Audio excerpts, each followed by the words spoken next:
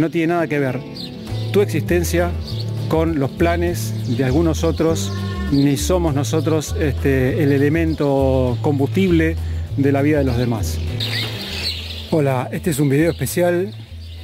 Voy a hablar de algo que me está pasando desde el punto de vista de quizá de la conciencia, de la canalización, junto a este rosal que ahora no está en flor. A veces el rosal es menos importante que la rosa, ¿no? y queda de lado. Pero me está pasando últimamente que cuando me acerco a este rosal me mm, recuerdo una cantidad de cosas. Ahora estoy aquí en mi parque, en mi casa, terminando de cortar el pasto, el césped, este, tarea de los fines de semana, de verano, estuvo lloviendo y mm, decidí grabar el video así ahora, espontáneamente, mientras estoy haciendo esta tarea doméstica, si se quiere, junto a este rosal, que no es el típico rosal ajardinado, sino que bueno, es una planta que está creciendo medio silvestre y yo cada tanto la voy podando, la, ato, porque es una planta que va arrastrándose. Pero me pasó las últimas veces que vengo cortando el pasto y me acerco a este rosal, de recordar situaciones que se dieron en los últimos años, por ejemplo en la época de la pandemia, donde mucho se hablaba de situaciones como, bueno, la, toda la situación de las vacunas, de la salud, de la salud pública, de los encierros, ¿no? y cómo con el tiempo se va eh, confirmando muchas sospechas de aquellos que íbamos escuchando y analizando algunos conceptos como la dependencia del mundo de la salud, de los laboratorios, a la que nos quieren someter, cómo eso va creciendo, va avanzando sobre las libertades, ¿no? Cómo vamos perdiendo libertades individuales. Y recordé una cantidad de veces que, por ejemplo, podando este rosal, eh, escuchando algunos videos, iba como atando cabos y entendiendo cómo funcionaba eso. Luego investigar, leer, escuchar y también tratar de utilizar el sentido común. Desde este punto de vista me quedaron varios recuerdos. Uno, por ejemplo, escuchar a algunas personas en,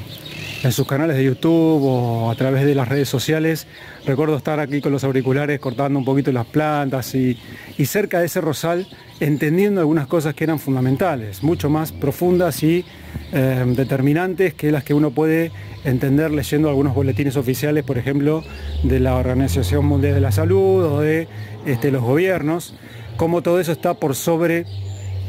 el individuo y cómo el desarrollo individual, espiritual de las personas no tiene tanto que ver con esas estructuras de poder, sino con otra cosa que tiene mucho más que ver con la vibración. Y eso, si los conectamos con la vibración, nos hace notar cómo eh, estas denuncias, si se quiere, o estos, este, estas lecturas empiezan a ser ahora apoyadas por estudios científicos. Y junto a ese rosal recuerdo haber escuchado una cantidad de cosas importantes y también recuerdo haber recibido llamados de alumnas, alumnos,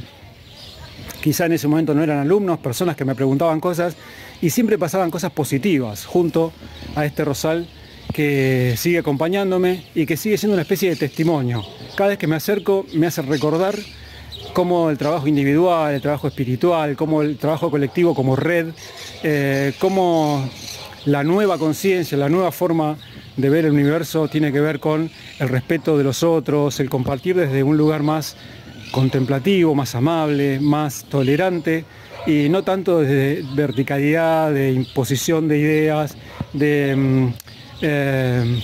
trabajar desde el psicopateo, ¿no? psicológico, digamos, de cómo yo te puedo dominar diciéndote ciertas palabras, las estructuras sociales, todo eso que se va creando para que las personas no nos desarrollemos como individuos sanos y felices, sino como parte de un ladrillo de una estructura que sostiene a la vida de los demás. Este rosal me va diciendo esas cosas, me lo va recordando y me está pasando que cada vez que me acerco a él, estas ideas vuelven y entonces se me ocurrió compartir esto ahora contigo porque me parecía interesante ponerlo en palabras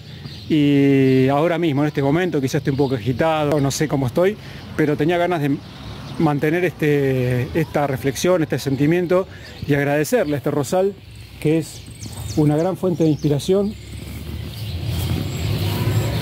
y que seguramente, como me viene acompañando ya desde otra casa en la que estaba, en esta casa desde hace ya unos cuantos años, este va a seguir dando sus flores y seguramente seguiré compartiendo también esas flores como hago habitualmente en alguna que otra publicación. Bueno, quería compartir con, contigo este, esta impresión, si se quiere, esta sensación, esta percepción, ponerle un poco algunas palabras y recordar que somos seres espirituales, que somos seres energéticos, que somos vibración, que somos conciencia y que no tiene nada que ver tu existencia